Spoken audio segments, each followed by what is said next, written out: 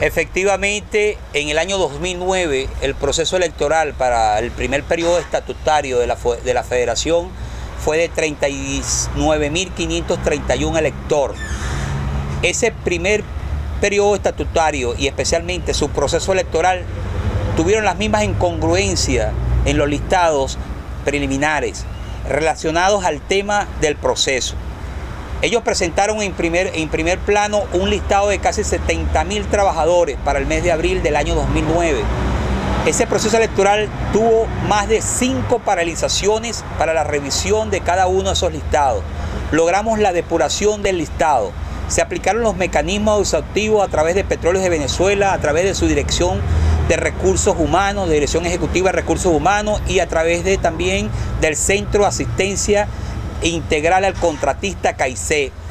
El listado del 2009 es un listado que ha sido pasado por todos los filtros de la industria petrolera y se pudo constatar que era un listado transparente, un listado que permitió la participación de los trabajadores, un listado que ciertamente fue avalado por el Consejo Nacional Electoral en ese momento.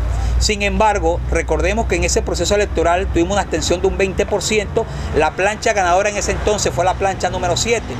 Efectivamente, después de siete años que entramos nuevamente en un nuevo proceso electoral y que revisamos la presentación del listado preliminar al año 2016, nos encontramos con un listado de más de 41.665 supuestos trabajadores.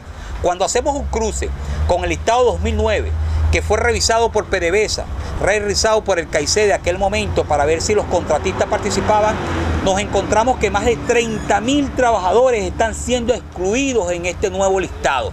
Trabajadores que no se repiten, no se repiten su número de cédula efectivamente, que su identidad no repiten el listado preliminar. Automáticamente nos, nos levantó los alertas. Empezamos a hacer depuraciones profundas en el tema. Ubicamos un listado de PDVSA Petróleo de más de 13.800 trabajadores de PDVSA Petróleo, en las cuales ese último sumario fue el presentado para mayo de, este, de 2016. Cuando hacemos ese cruce con 3.800, 13.800 trabajadores, nos encontramos ahora que más de 10.000 trabajadores que cotizan a la FUTE que cotizan a sus sindicatos de base están siendo excluidos.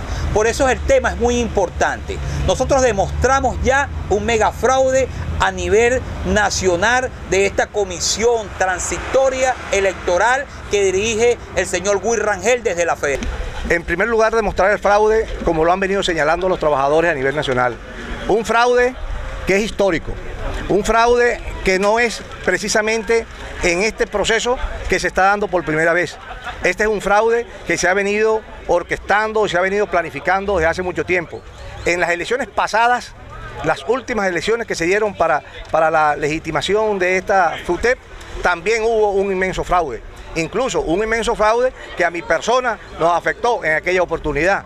Sin embargo, eso no logró resolverse de manera jurídica, de manera política incluso sino que se le echó tierra. Hoy vienen nuevamente con la política del fraude. Entonces, en primer lugar, yo quiero hacer un llamado a Eulogio del Pino.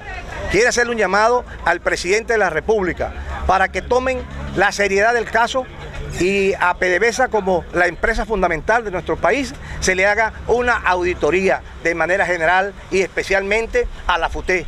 La FUTE que ha venido administrando una cantidad de recursos de los trabajadores y hasta ahora no han entregado cuentas claras a los trabajadores para ver qué han hecho en más de cinco años con el dinero de los trabajadores. Dinero de los trabajadores que incluso ha servido para viajes a Europa, para recorrer casi todos los continentes, donde un grupúsculo de ex dirigentes o de pseudo dirigentes de los trabajadores han venido disfrutando de los recursos de los trabajadores. Los trabajadores tienen derecho a conocer qué se ha hecho con su dinero eh, y qué se ha hecho con los viajes que se han, que se han realizado. ¿Dónde están las cuentas ¿no? de los trabajadores en estos más de cinco años de, de ejecución? ¿no?